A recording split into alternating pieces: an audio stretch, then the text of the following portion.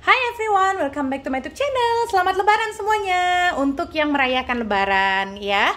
So, hari ini saya mau berbagi menu yang simple karena berhubung kan e, berapa hari ini kan kita udah makan menu-menu lebaran, guys. Jadi kita mau e, mengganti menu yang a, a, lain sedikit, yang agak berbeda gitu ya. Di sini saya mau masak ayam masak buttermilk ya atau chicken buttermilk. Nah, di sini saya mau share resep. Sebenarnya ini resep dari keponakan saya yang di uh, Muar, yang di kampung Malaysia.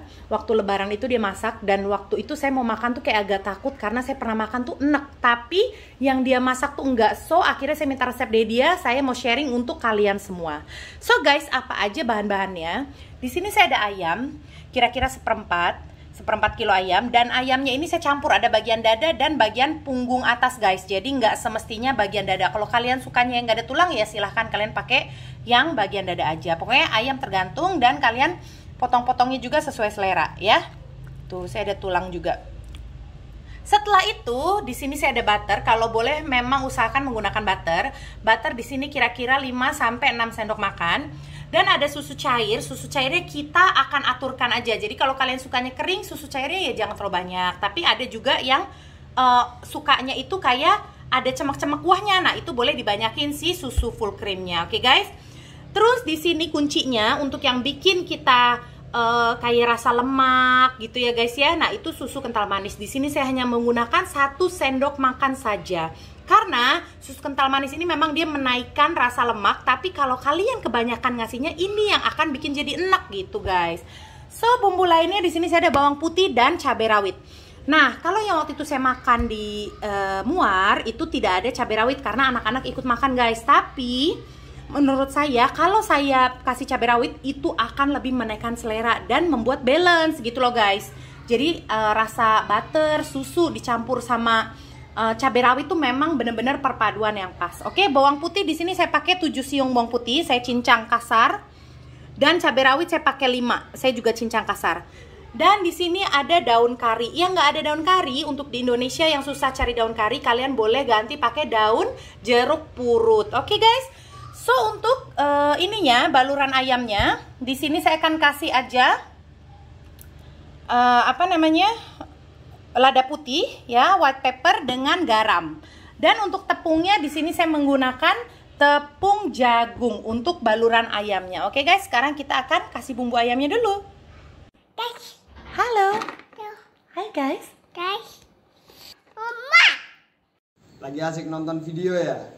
Nah, sekarang kalian boleh lihat di bawah layar video kalian ada tombol merah yang tulisan subscribe seperti ini.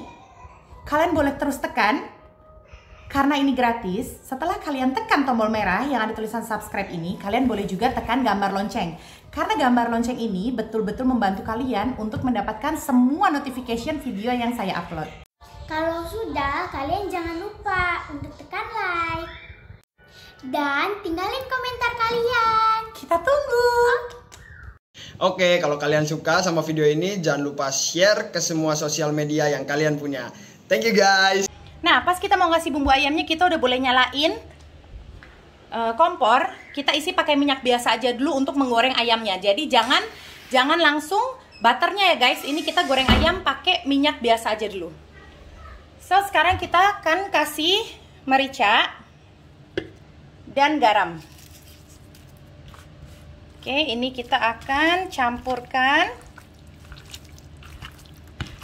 Nah, untuk uh, membuat versi ayamnya salut tepung itu juga ikut selera ya. Ada yang suka di uh, campur telur, digulingin ke telur, terus dicampur tepung gitu boleh. Tapi kalau saya nggak suka karena um, menurut saya agak amis. Jadi saya lebih suka gini aja. Lalu kita tuangin si tepung jagungnya. Oke, kita tuangin tepung jagungnya.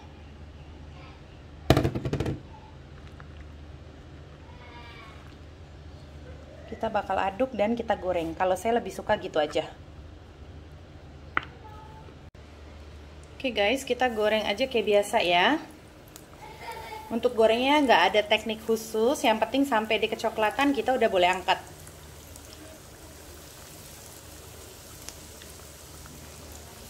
Oke, saya goreng separuh-separuh dulu. Jadi biar keringnya merata. Nah, kalau udah kering kayak gini ya guys jadinya tuh. Jadi kalau menurut saya tanpa disalut tepung juga dia kelihatan ya crispy-nya. Nah, gitu. Tapi ikut selera ya kalau kalian memang oh udah biasa mau goreng ayam crispy pakai telur ya silahkan. Oke, jadi ikut selera aja. Jangan ada yang dipaksakan. So, ini sekarang kita mau angkat dulu.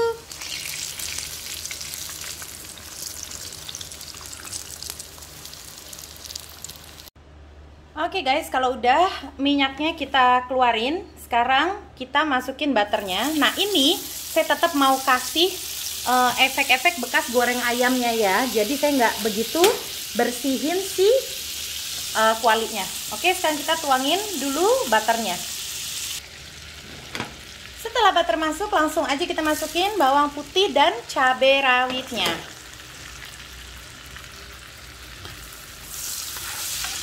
Kita akan tumis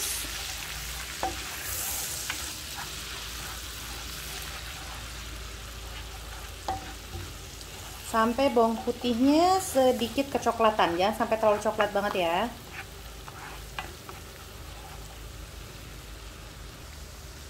Oke, setelah itu kita akan masukkan daun karinya atau yang mau masuk uh, yang tidak ada daun kari boleh masukkan daun jeruknya. Kita tumis juga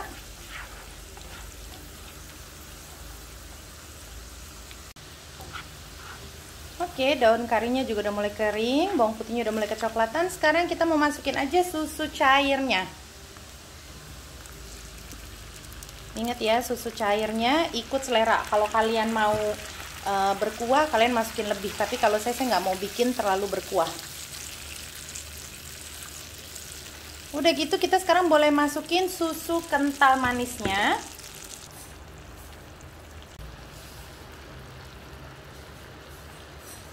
Nah, kalau udah masuk susu, kental manis, sekarang kita boleh koreksi rasa dulu guys. Kurang asin, kurang gurih gitu ya. Jadi nanti pas masukin ayam kita sudah tidak perlu menambahkan rasa apa-apa.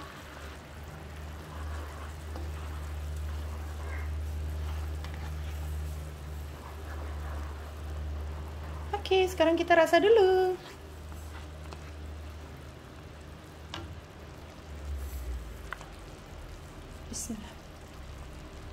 Hmm.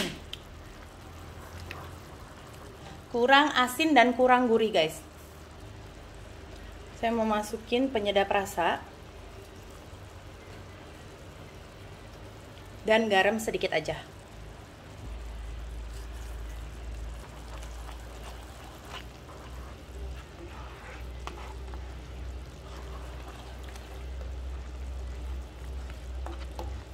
Oke, sekarang kita boleh masukin ayamnya.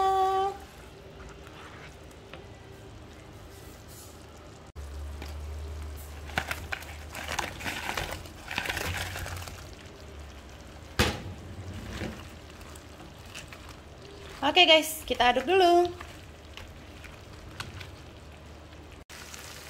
Oke guys, seperti inilah kira-kira sekarang kita udah boleh matiin apinya. Nah, jadi pas ayamnya udah masuk itu kita nggak perlu lama-lama. Yang penting kita uh, salut-salutin aja dengan keadaan api menyala dan sekarang kita boleh matikan apinya. So, sekarang saya mau pindahin dulu ke piring. Nanti kalian uh, boleh lihat hasil akhirnya.